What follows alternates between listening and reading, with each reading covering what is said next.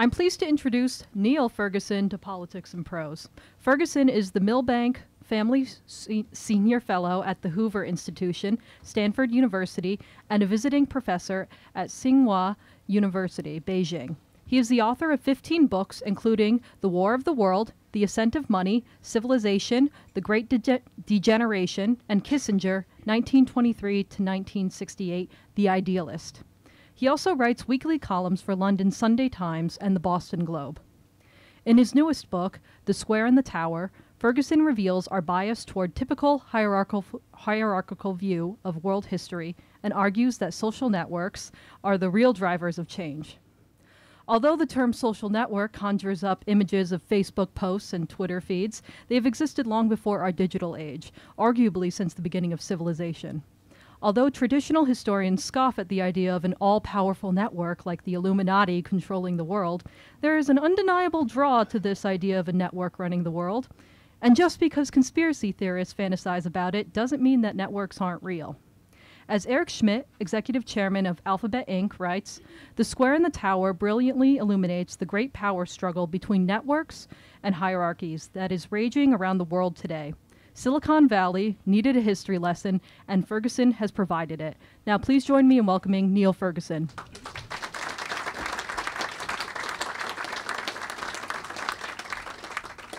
Thank you very much indeed, uh, Katie. It's lovely to be here. Bookshops are my natural milieu, and so I feel at home. I'm going to tell you why I decided to write this book, and I'm going to tell you what I learned from writing it. And then you're going to ask me difficult questions, and then I'm going to sign some books and then I'm going to rush to Dulles Airport and fly to San Francisco to get home to my wife and uh, small children, including the newborn, Wee Campbell, who's just three months old. So that means that the signing might be kind of hurried uh, because if I don't make that plane, my little domestic network may suffer an outage. Uh, it's true. I wanted to teach Silicon Valley a history lesson. I moved to Stanford just a year and a half ago, slightly less. And I was amazed that when I got there, the prevailing attitude was that history began around about the time of the Google IPO. And everything before that was the Stone Age and of no consequence and not worth studying or knowing about naturally, I was somewhat offended uh, to encounter this attitude. And so I thought to myself, why have I got a sense of deja vu? What is it about the attitude I am encountering here in this place that seems familiar? And then I remembered the attitude in Silicon Valley just a couple of years ago was exactly like the attitude I remember on Wall Street in around about 2005 6. We are the masters of the universe. You pathetic academic oh, historian have nothing to tell us. Now, some of you may know that around about 2005 6, I began work on a book called The Ascent of Money, which was designed to teach Wall Street a history lesson. And as it turned out, that was quite good timing because as the book was published, the financial crisis began. Uh, it was published just a few weeks before Lehman Brothers blew up. So when I encountered that same sense of we don't need history, we have no use for it, our apps, our platforms are so awesome, I thought it's it's the same problem they think history doesn't apply to them, but it does. So the idea of this book is a little bit the ascent of money goes to Silicon Valley. It is the idea that, yeah, history does apply to the big technology companies. It does apply, uh, yes, to Facebook and, and to Twitter. And the starting point of, of the analysis is that that Silicon Valley did not invent social networks that social networks have always existed. They don't, in fact, require any technology uh, to function on surprisingly large scales and even high speeds. Technological determinism has created the illusion that something entirely new has been created, whereas all that has happened is that social networks have become bigger and faster than ever before. But that is a quantitative change. I don't believe it is a profound qualitative change. And therefore, we can learn from the past things that are relevant to our seemingly uniquely networked age. The other reason that I wanted to write this book was to try and explain networks and network science to historians uh, because it's a two way street. People who work on the past tend to be very casual in the way that they use terminology uh, like networks. And I, I've been struck by the fact that only quite recently have scholars began, begun to use social network analysis in any systematic way in, in historical research. And the book does its best to showcase some of this really impressive and interesting research. Uh, for example, I, I, draw heavily on some terrific work that's being done at Stanford on the Enlightenment Network, graphing the Enlightenment as a network of, of scholars and thinkers connected by correspondence and by publication. But what you'll notice if you read the book is that the coverage, this kind of scholarship, is quite patchy. So we know quite a lot about some networks, but nothing at all about others. We still don't have a good history, for example, of how the Nazi Party functioned uh, as a network, or for that matter, the Bolshevik Party that caused the Russian Revolution. So the book, in some ways, is an exhortation to historians to be more systematic in the way that they study networks and to try to learn some things from network science. Network science is an amazingly interdisciplinary thing. I was trying to teach myself about networks so that I could write more coherently about them, more analytically about them. And I discovered that I had to be a little bit of a physicist, a little bit of a mathematician, a little bit of a sociologist. I had to be a little bit of an economist, even a bit of an anthropologist. Uh, and then I actually had to be a little bit of a, an amateur engineer. So the book is a, an interdisciplinary book, and that's always a a nerve wracking undertaking. You expect at any moment one expert or another to cry foul. But it seems to me that the effort was worthwhile. Let me make two broad uh, summaries. One of the historical narrative, and the other of the six things I learned about networks as they apply to history. The narrative, which I'm going to simplify absurdly here, is that in most of history, hierarchical structures of power dominate social networks. Now, this is something of a false dichotomy, as the more uh, wonkish, geekish people will know. Uh, there isn't a clear dichotomy between the, the square and the tower between the square where we uh, we network and the tower where government government happens, actually there's more of a continuum from hierarchically structured networks to distributed or decentralized networks. But I think one can summarize human history in the following way. Most of the time, hierarchically structured forms of organization predominate. Through most of history, states or armies or bureaucracies, hierarchically organized arrangements prevail, even at quite simple levels. The, the clan structure of early modern Scotland, if you want an example. But every now and then, uh, in a few periods in history, social networks are empowered, often by some technological change, in such a way that they challenge the hierarchical order of the time. Example we think there's something tremendously new about our time because we have personal computers that fit in our pockets and the internet. But I try to argue that the effect of that technology and the network that it's created, to which we all belong, is comparable to the effect that the printing press had when it was introduced as a technology uh, in the 15th century.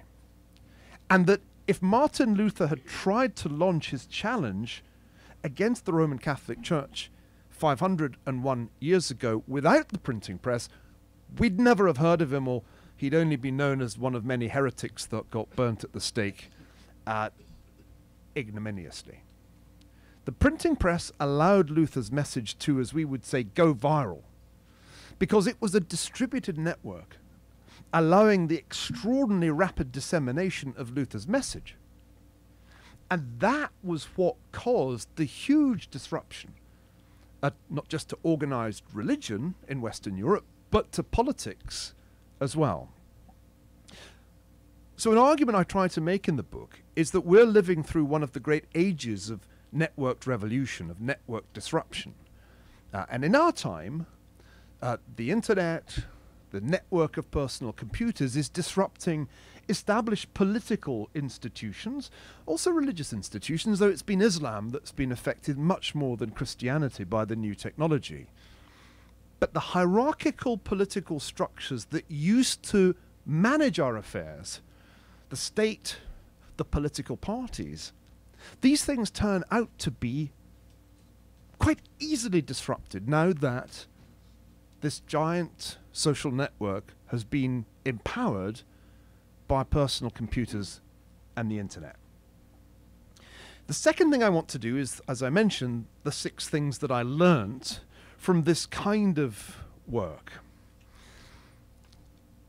Number one, you might think that creating an enormous social network, a planet where everything is connected and everyone is connected would be a really good idea.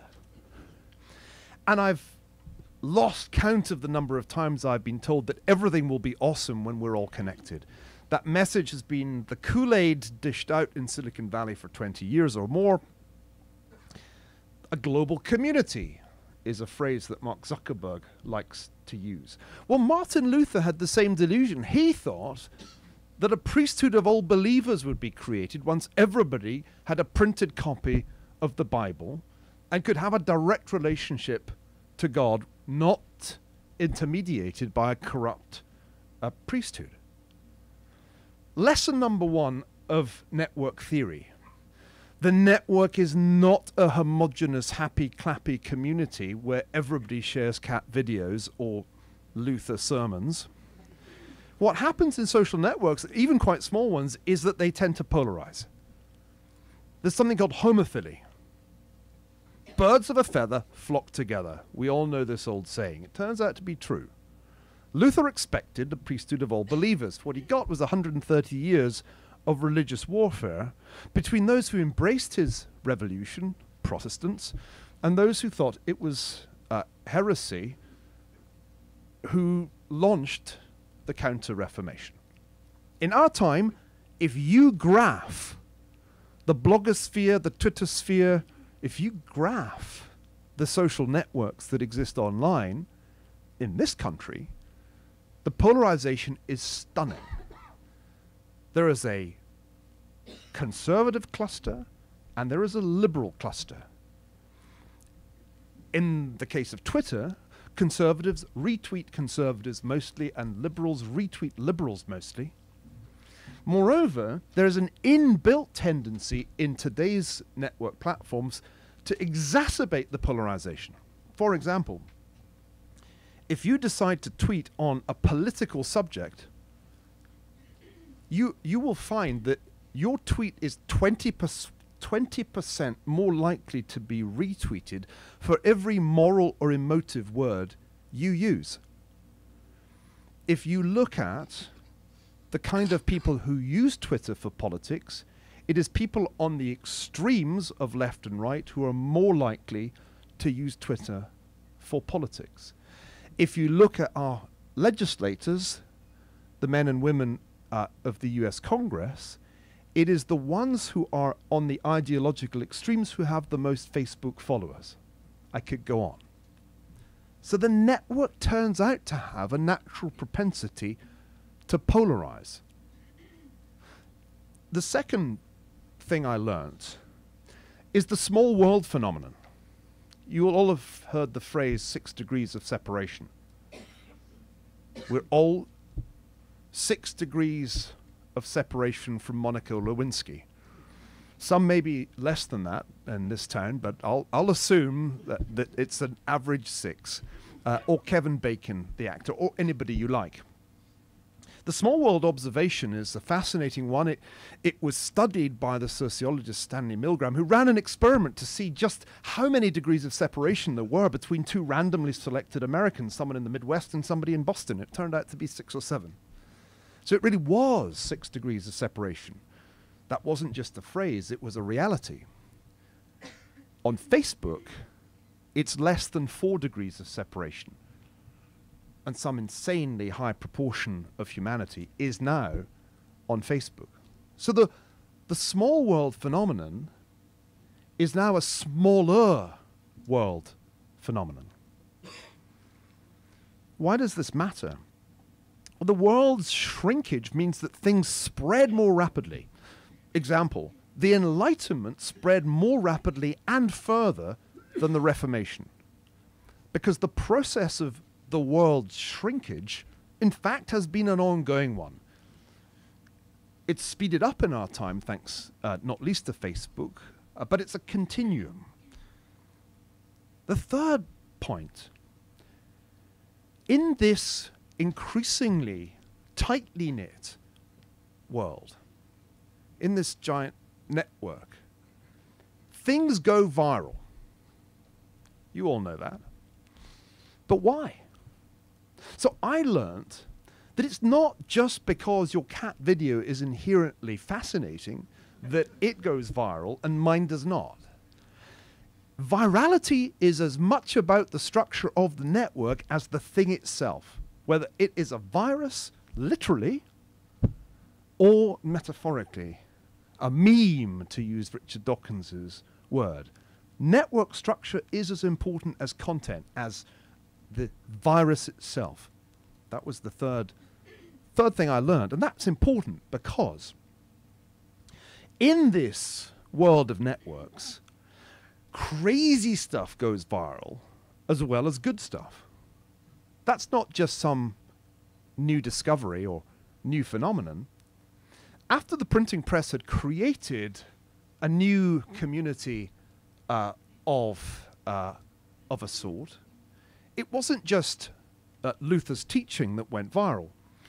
Uh, the idea that there, there were witches living amongst us also went viral. And one of the extraordinary features of the period after the Reformation was that in one Protestant country after another, including, of course, Massachusetts, witch crazes occurred.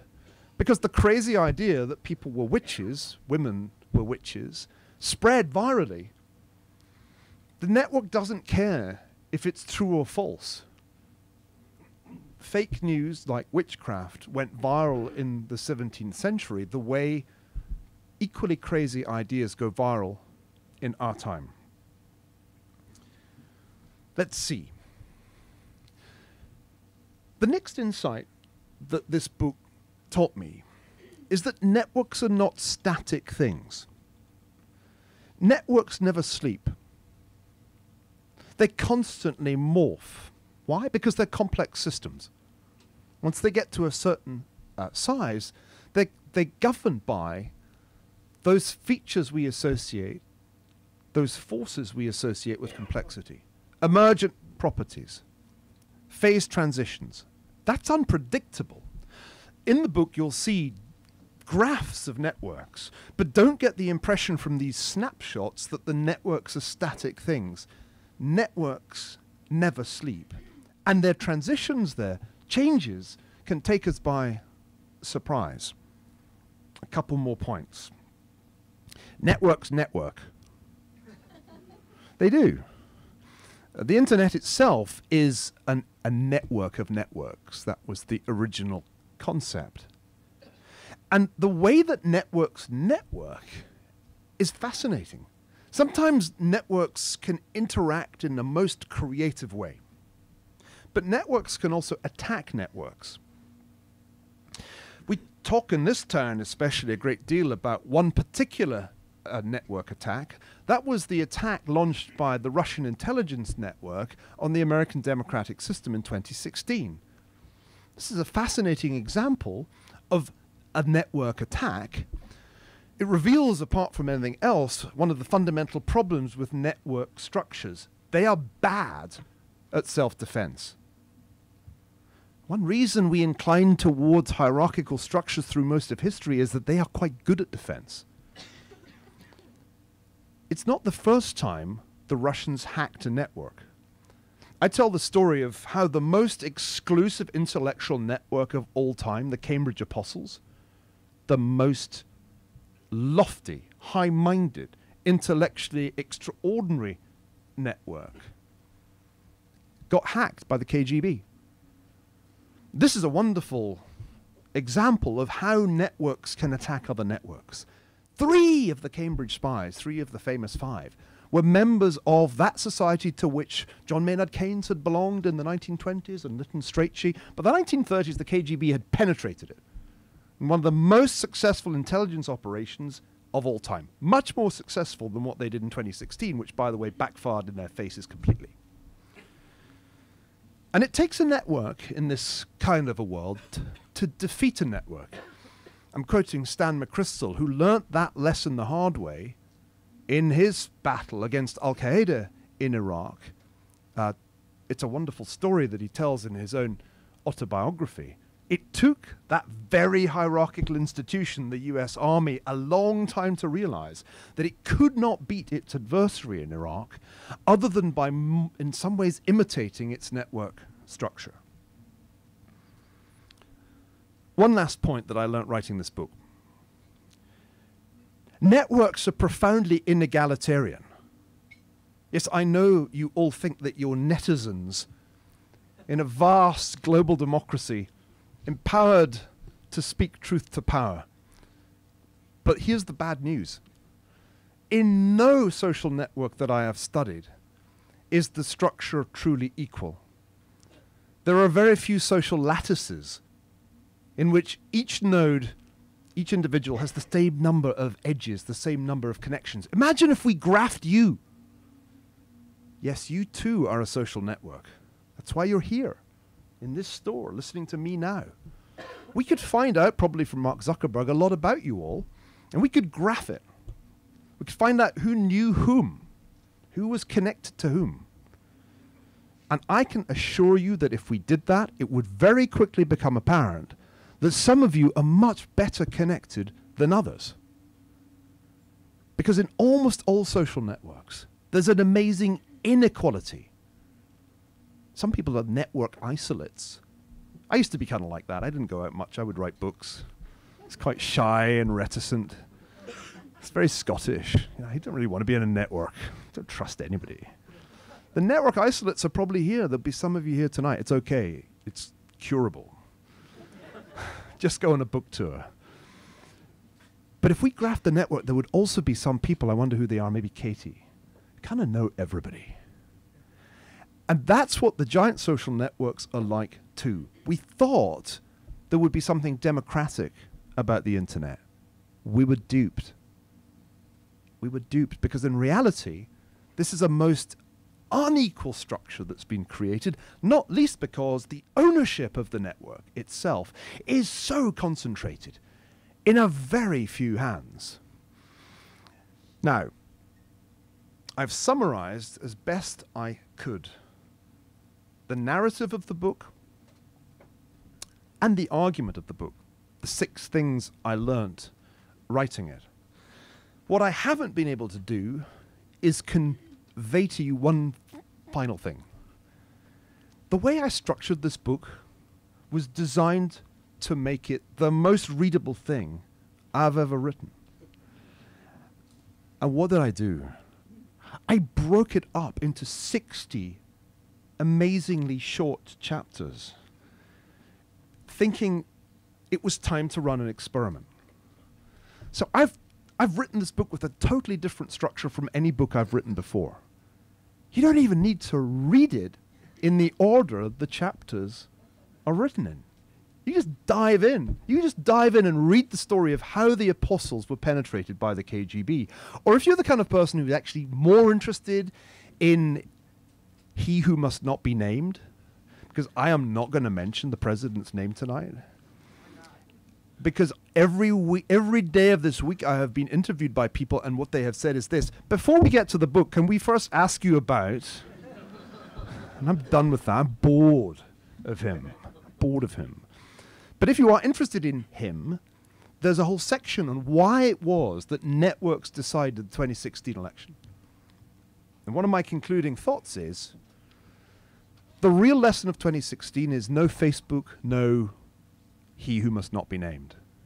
Without the network platforms, not just Twitter, but especially Facebook, the outcome of that election, which has changed all our lives, would have been different. Jürgen Habermas, the great German uh, philosopher, said that changes in the structure of the public sphere were often the most decisive things in history, and I agree with Jürgen Habermas. And this book is really about changes in the structure of the public sphere.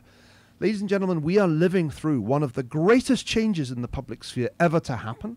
It is as profound in its way as the change wrought by the printing press. The printing press was supposed to create a priesthood of all believers, the internet, a global community. If history has anything to teach us, it is the sobering thought that we may be just at the beginning of a period of network disruption, polarization, crazy stuff going viral, and widening inequality. And if that makes you feel nervous, the cure is to buy the book. Thank you very much indeed.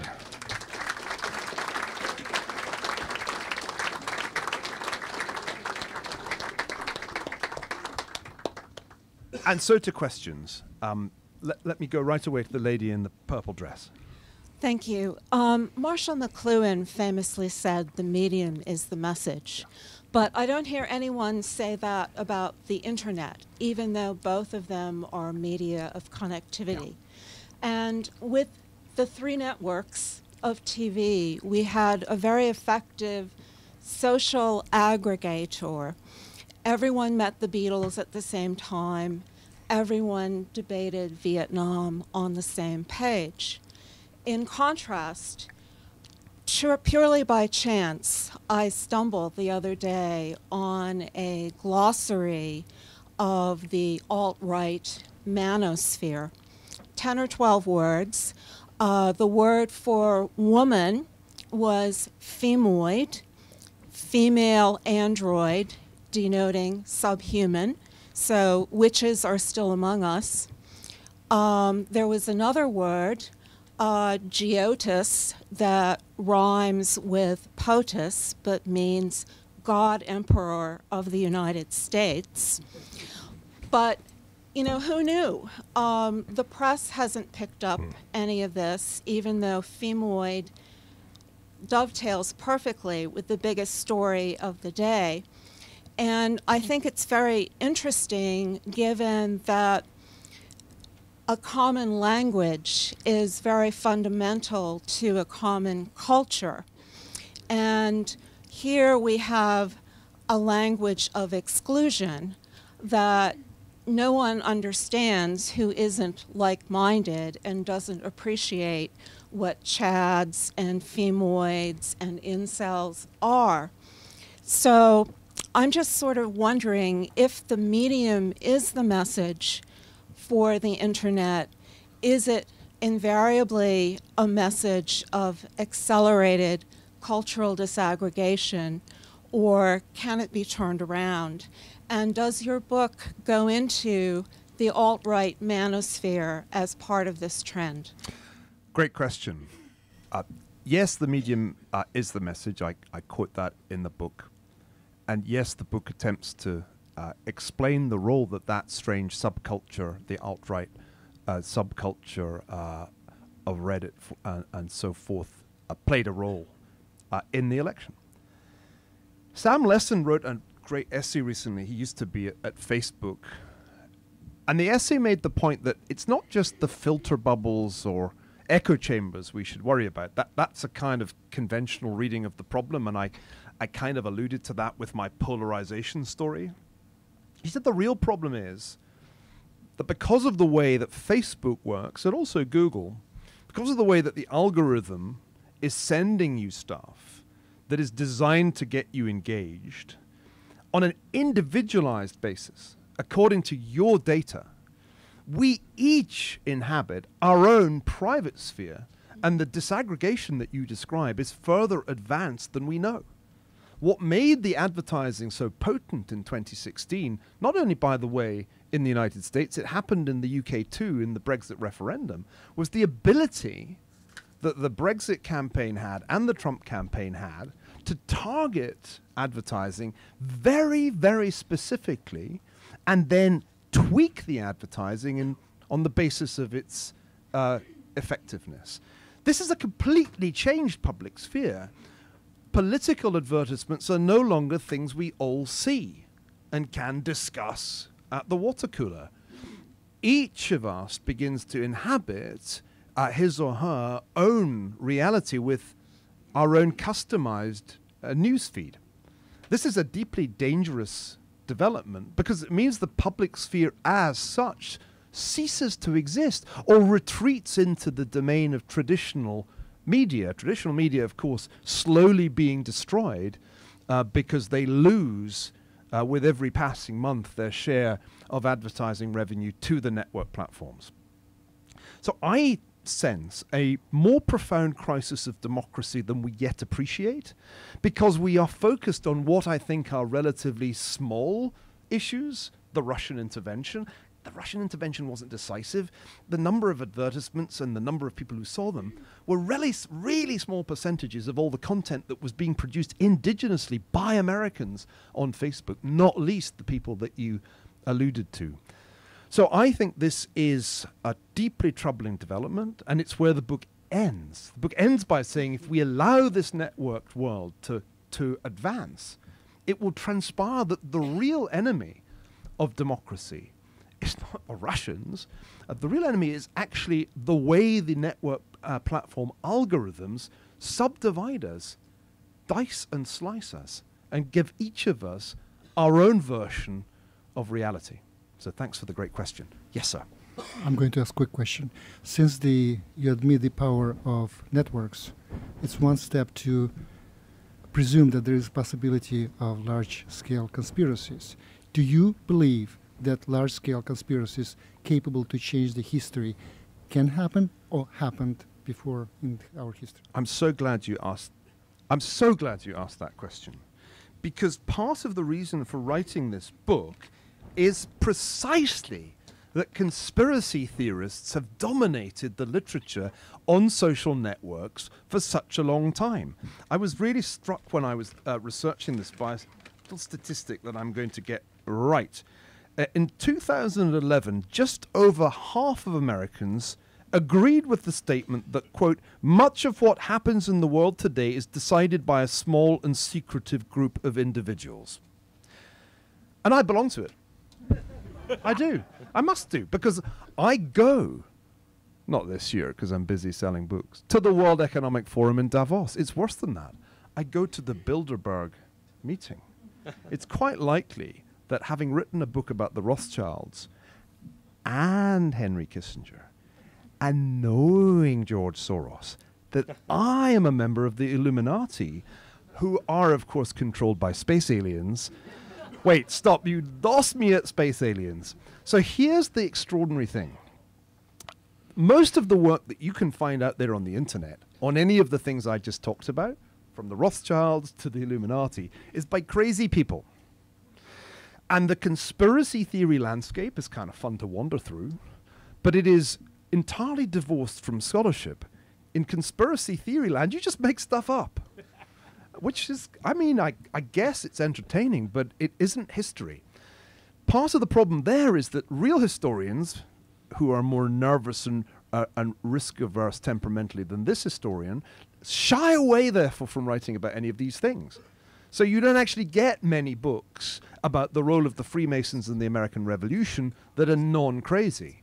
There are relatively few rigorous studies of the Illuminati and so forth.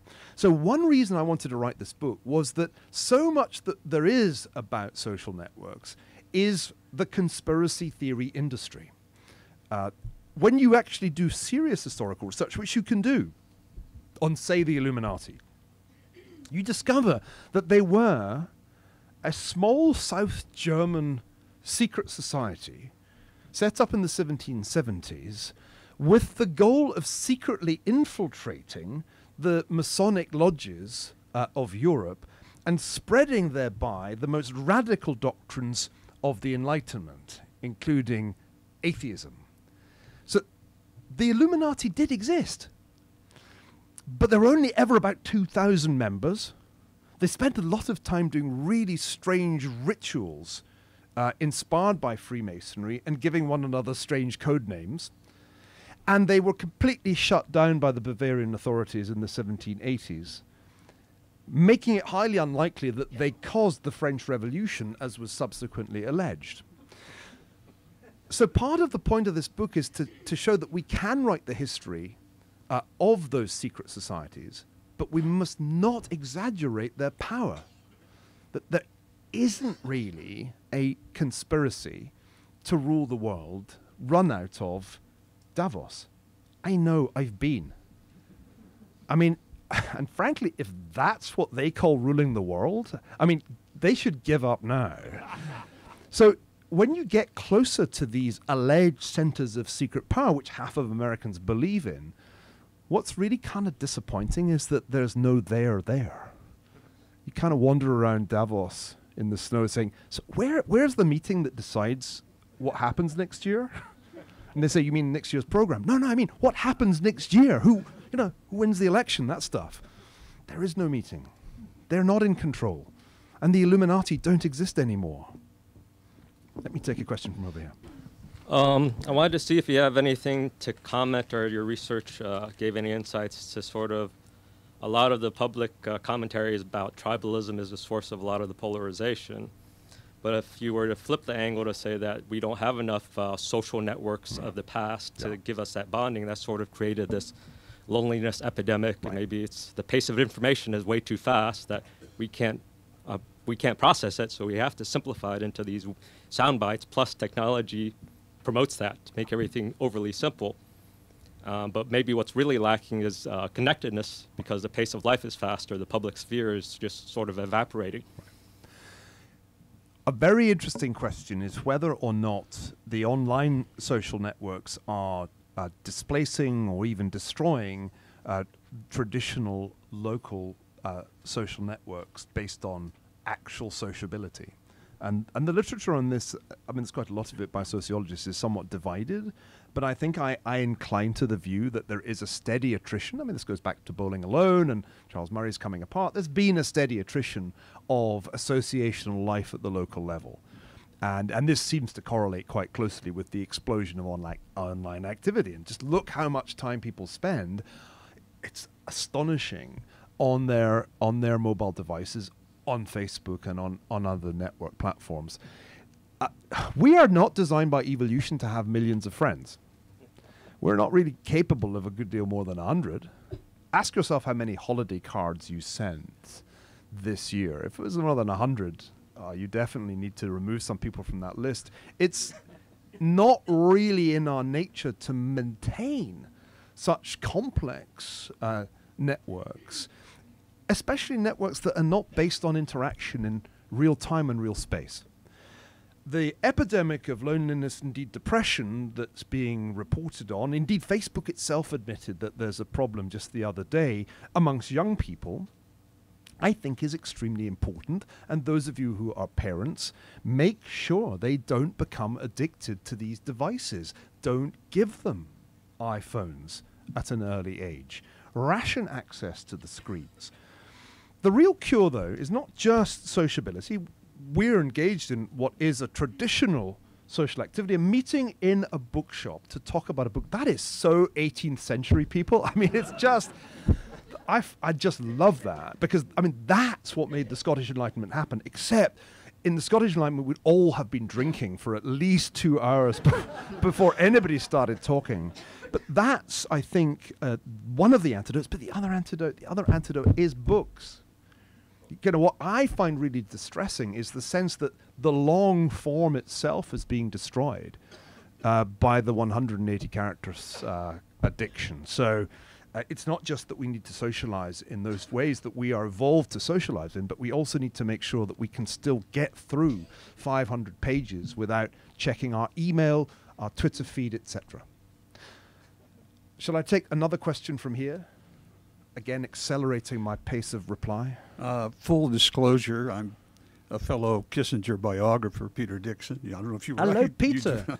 How nice to see you. Now, just a, two quick observations. One relating to Kissinger, because you have a lot in the book here, and then one on powerful hierarchies that use networks for self-survival. Um, I looked in the index for Kissinger, but I was looking for the neoconservatives. Where were the neoconservatives Yeah. here? You're right. And uh, my sense of Kissinger early on, going back to the 70s and 80s, his real clique, setting aside his global Rolodex, which you go into, was very small group of men, and most of them are dead now, except maybe for Scowcroft, and of course Kissinger just turned, I think, 95. I think that it was a case if a if a political faction within the foreign policy elite doesn't institutionalize it more, and that was what he said was Bismarck's failure, hmm. that Kissinger was overpowered over time by the neocons. I will say, though, he still gets his access, and in Fire and Fury, he is very close to Jared Kushner, pushing him toward China in a certain way and so forth.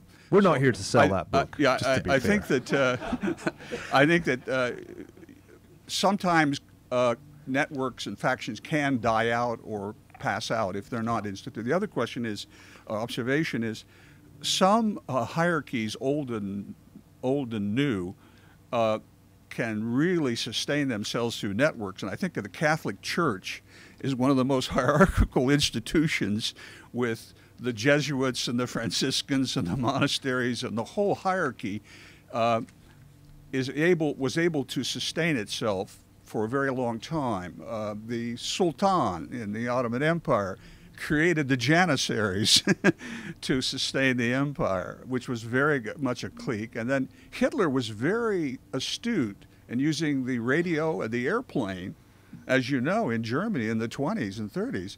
So he used new technology to create a mass following, but he had the Gestapo and the SS, which were classic networks that he created.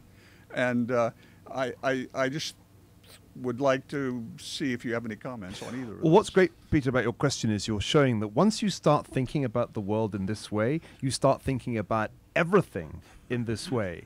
And of course, uh, I couldn't include every single network that's been powerful uh, in American politics, but I certainly could have written about the neoconservative network, uh, which became a major uh, threat to Kissinger's position in the 1970s. Let me make a confession. One reason I decided to write this book was to try to cleanse my intellectual palate before writing volume two of Kissinger. I realized that I was I was needing a new conceptual framework for the second volume because the first volume was essentially an intellectual biography, is somewhat uh, akin to your own work. Uh, the story of, of, of, of a scholar essentially entering the, the public domain, but essentially somebody who could be understood in his own words. The second volume I realized had to be about the Kissinger network in some measure to explain how this scholarly figure became so powerful. So in this book, I have a first stab at the Kissinger network. It's really just a first attempt at it to try to to depict it, to try to understand uh, how far his power was a function of his ability to build a network, which I think I think is the hypothesis of volume two. But this is work in progress. I do think it is an extremely important way of thinking about the transitions in American politics uh, within the parties. Uh, and, and the rise of the neocons is without question a good subplot uh, for a future edition. The Catholic Church illustrates the need to be at some measure, in some measure, both hierarchical and networked to survive. The hybrid structure, people who work in, on networks in, in biology know this, is actually in some ways the best in nature. There is a hierarchical dimension, but the Roman Catholic Church is not the Soviet Union under Stalin. The Pope does not micromanage each priest in every part uh, of uh, the Catholic Empire's global domain. Uh, and this is an important clue as to why it's been so long lived. Most institutions that are hierarchically structured, say corporations, don't last very long. They're, they're really surprisingly short lived. Institutions that live a long time seem to have a hybrid structure that combines the organizational discipline of hierarchy with the creativity of networks at the grassroots level. And finally, it is a crying shame that no one has yet done a, a, systematic social network analysis of either the Bolshevik Party or the Nationalist National Socialist Party. Uh, we've got great work, it's true, on some of the great uh, 18th century intellectual networks, but I can't help feeling we could be solving some very burning problems of historical explanation if we could understand better how those two parties, which grew so rapidly, which had all the characteristics of, of viral phenomena, which fundamentally transformed politics in the 20th century and were responsible for the greatest conflicts uh, in human history. But we don't know how those networks were structured. Uh, so one of my works in progress is at least an article on the NSDAP as a network. Until that work is done, the raw material are there, the data are there, but historians haven't done it. Uh, and until that work is done, I don't think we'll fully understand fascism itself, nor communism. Shall I take a, another question from over here? So you talked a little bit how sorry you talked a little bit how networks can occasionally rise up and challenge, sometimes toppling hierarchies. So pivoting to China a little bit, that seems to be one of the largest networks in the world that's being controlled by one of the largest hierarchies in the world. Yes. Do you think the nature of that system makes it particularly vulnerable to a certain shock that might come about soon? What a terrific question. The book addresses this question and, and comes to a quite different conclusion from the one implied by your question. We haven't solved the problem.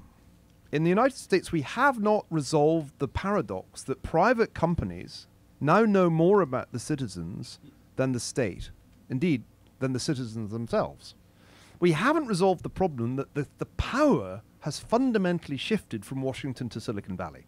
They've solved it in China. And they've solved it in the following way.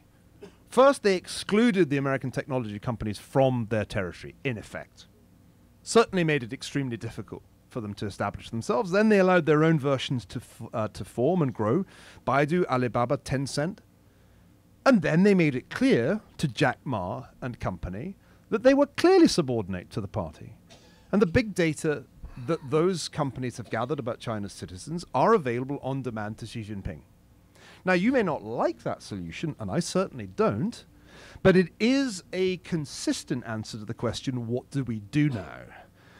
That means, in my view, that the Chinese Communist Party has much better prospects of extending its survival than it had just 10 years ago. Because now it knows exactly what its citizens are thinking. It has big data on almost every aspect of behavior, from the economic to the social to the cultural. They can monitor and respond.